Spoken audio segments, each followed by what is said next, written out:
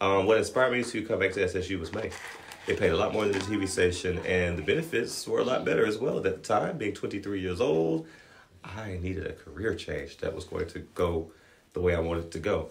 Um, it's been rewarding to be able to work in the program that helped create me as well. I will say that. Well, no, a lot of the reasons I stayed in the early years, admittedly, it was it was a lot of fun getting to do some things that I enjoy in a different capacity, getting to work with students and getting to kind of help propel the program forward. I will say that because I watched it change a lot even yeah. since I was a student here. I would say first and foremost, just have fun. I mean, a lot of stuff is work, but I don't think we're meant to live in hell the whole time we're here. So mm-hmm. try to have some fun.